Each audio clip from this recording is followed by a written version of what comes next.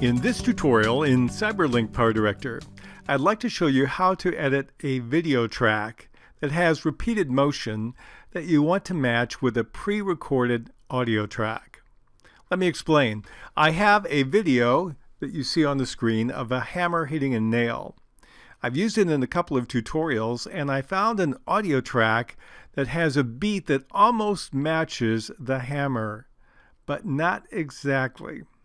I'm going to show you a short clip and you're going to see that the hammer beat does not quite come down every time the beat of the music would like it to.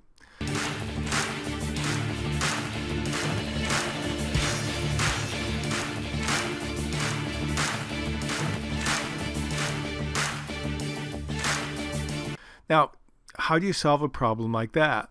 Well, in this case, since it doesn't have people talking and lips moving or something like that, I can get away with a, a technique where I'm going to segment the video. Because you see, what I've done here is I've put timeline markers every place where the hammer strikes the nail for an additional time. And so I found those frames, and I have a video on that where we use the comma key and period key to move frame by frame, and isolated those places in the video. But you notice each of these uh, timeline markers does not match the spike in the audio track. And so how do you get them to match?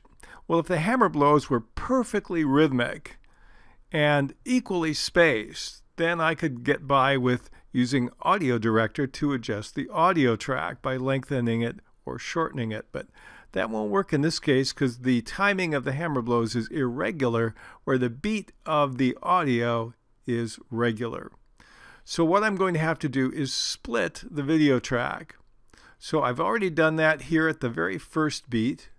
I'm going to go to this second place here and I'm going to do a control T with a timeline marker there and we'll split that at that point. I'll go to the third one and we'll do control T again and I'll repeat the process so I split this into segments every time the hammer comes down, I'm at a new segment. Okay, now I have each of these segments. Now, what I can do at this point is I can change the length of each of these independently of the other.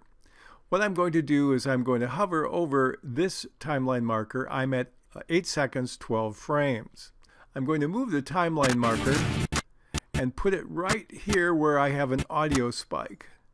And if I hover over that, I have 8 about 8 seconds and 6 frames. So I'm 6 frames longer here. So I'm going to shorten this segment by 6 frames.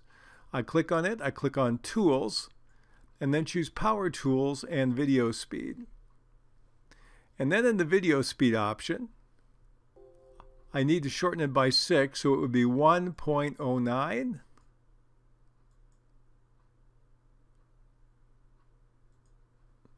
and I'll click on OK button in the lower right corner.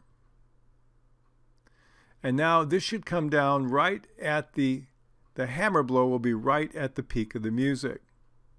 The next one I need, need, and again now I can ignore the timeline markers because they're all off, everything's shifted to the left. But I can still click here and I see I'm at 9 seconds, 21 frames. I move back, mic is 914. So I need to shorten this about times. I'll click on it, click on Tools, Power Tools, Video Speed again. Activate the video speed control and reduce this by 6, which would be 1.07. And click on OK.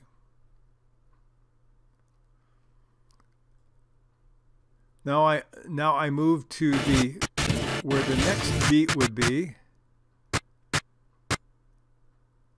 And if I hover over that, I see it's approximately 10 seconds, 27 frames. I have a heavy beat here at 1023, so I only adjust this by four frames. I click on it, click on Tools again, Power Tools, Video Speed, and I'll shorten this by four frames. Click on OK. And so that's the process I repeat to try to get the split of these frames to match the particular place where the audio spikes. I'll pause the video and then we'll continue the process. So I'll play this again and you can watch and hear the, how the timing works out. In this case, the audio should spike every time the hammer hits the nail.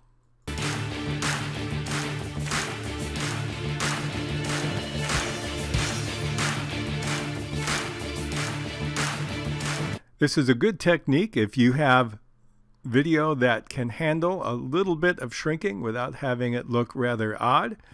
But notice I was able to get the timing of the hammer blows in each case lined up with the beat of the music.